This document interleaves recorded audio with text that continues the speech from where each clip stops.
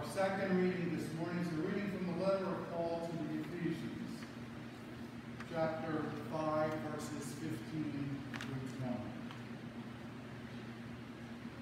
20. Be careful how you live, not, not as unwise people, but as wise, making the most of the time, because the days are evil. So do not be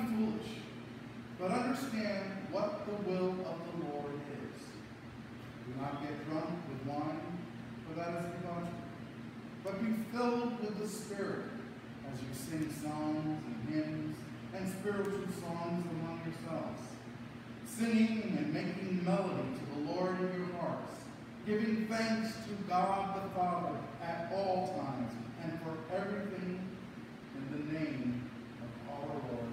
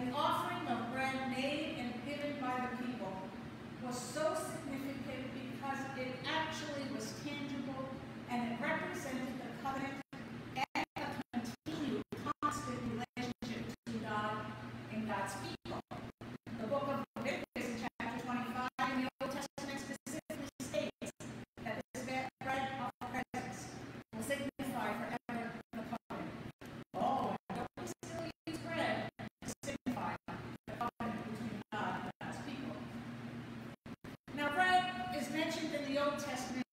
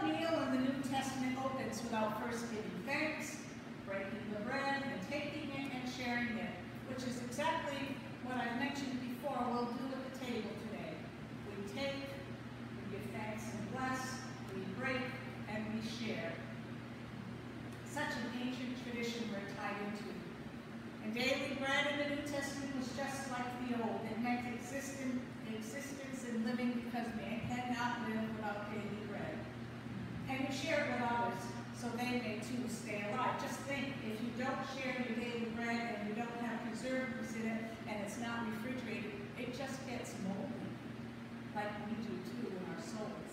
It just gets moldy and it has to be wasted and thrown away. So sharing it and giving life that way is a commonly used um, symbol in the New Testament. But the bread in the New Testament is always served, always served and eaten as what it was meant to be bread until Jesus came along and shared that he was now going to become their bread. Part of me wants to see God having a sense of humor here. And, and it's kind of funny to me when you do some translations in the Bible and to think that God does have a sense of humor because there's another meaning behind the word bread. Now, in past sermons, I've translated the Hebrew word Eucharist, the Greek word too, thanksgiving. We call our Eucharist a great thanksgiving. Well, when you translate the word Bethlehem, which is a Hebrew word, and you're all familiar with the town of Bethlehem, right? Well, when you translate that in Hebrew, it means the house of bread. Bethlehem means house of bread. So here we have Jesus saying that he is the bread of life, and now we know that Jesus, the bread of life, was born in the house of bread. I think that's kind of funny. I think God's got some humor there if we allow that to be seen. The bread of life came from the house of bread, and then used that image to consider himself spiritual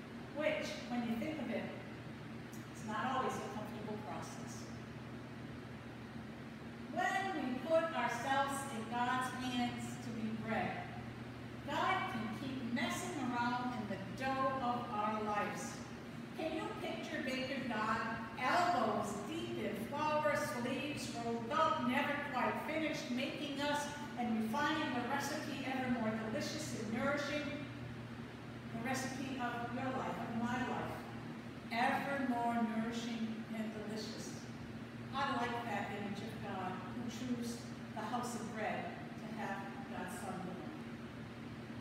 The process of baking bread, of mixing us is dynamic, it's creative, it's intimate, and often painful. It's not easy, not at all easy being bread. Nobody ever said it was, especially not Jesus. He said he's the bread of life to give life to the world, but he who was broken to give himself. He became a cruciform loaf, an Easter bread of unexpected rising. With God, with God, all things are possible. You and I say that and pray that. And Christ will make up for the lack of our ingredients in the recipe. God is not using an impossible recipe.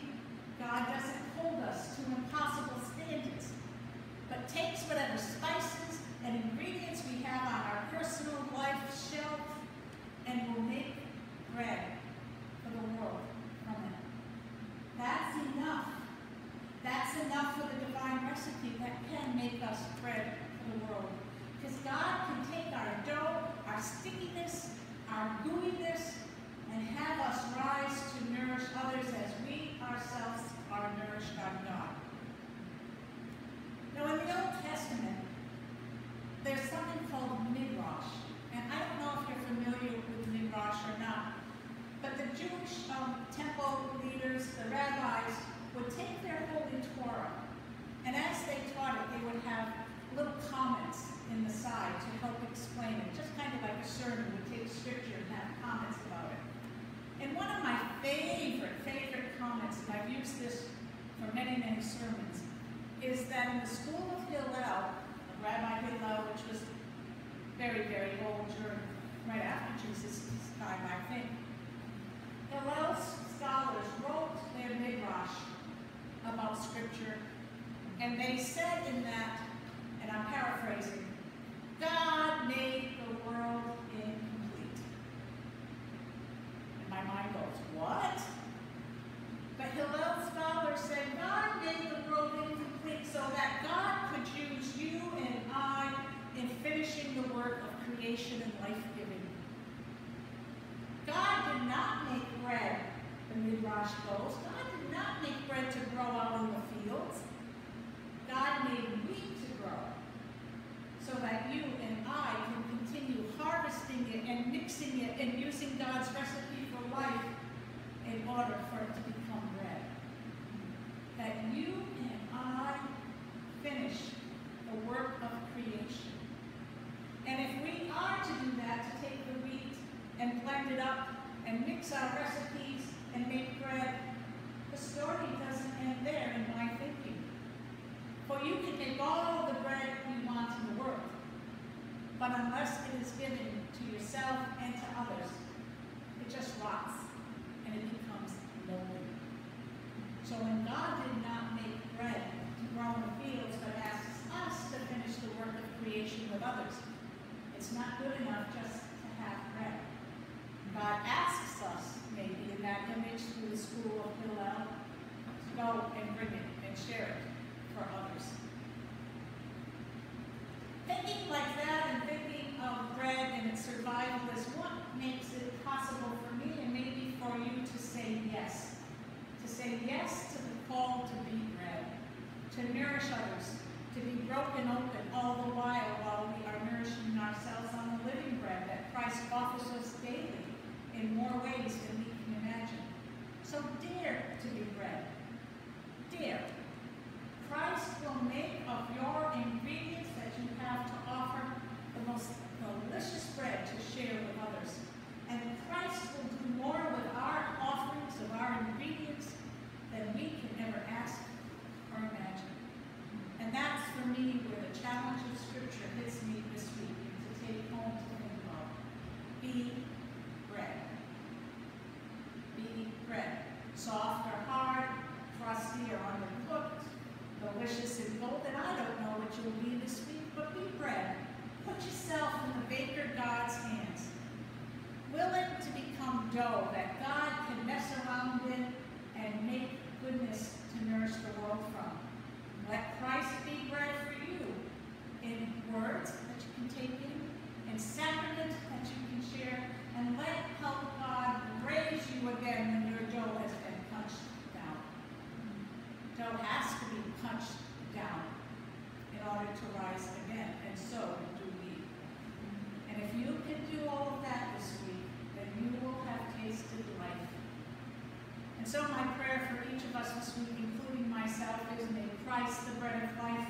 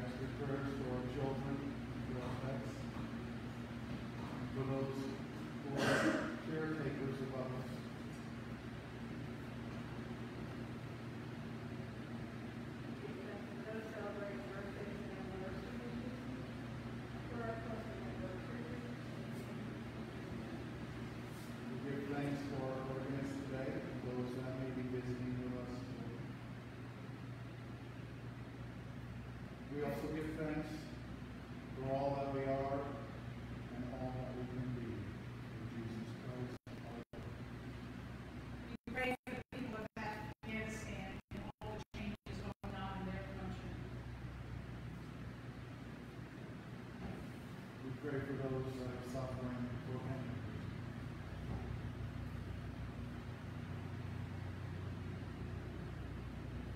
Into your hands, great God.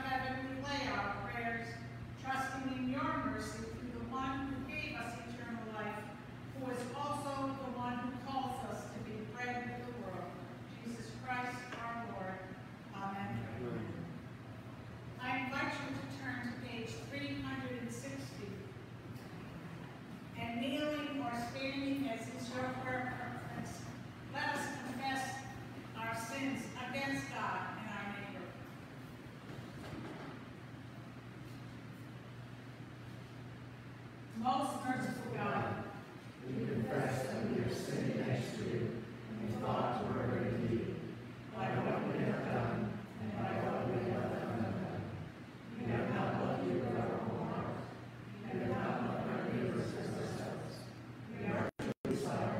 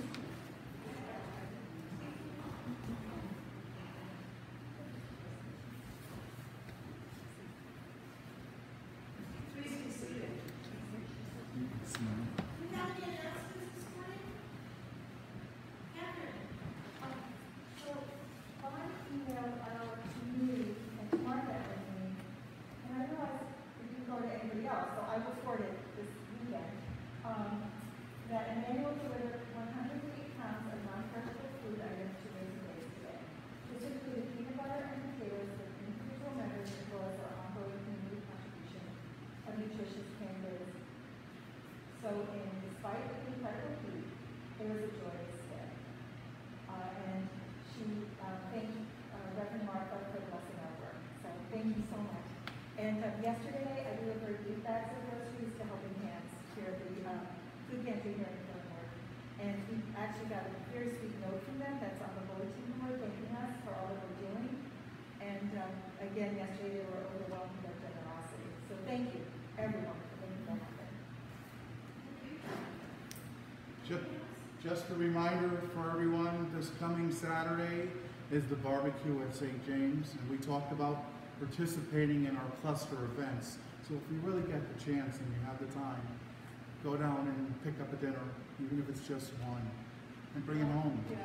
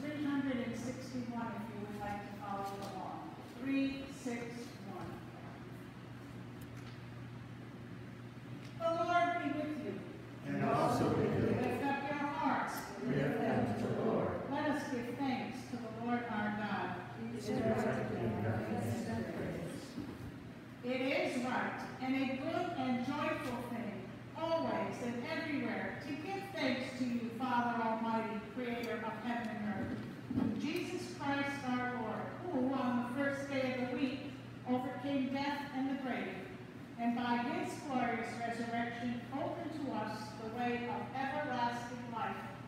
Therefore we praise you, joining our voices with angels and archangels and with all the company of heaven, who forever sing this hymn to proclaim the glory of your name.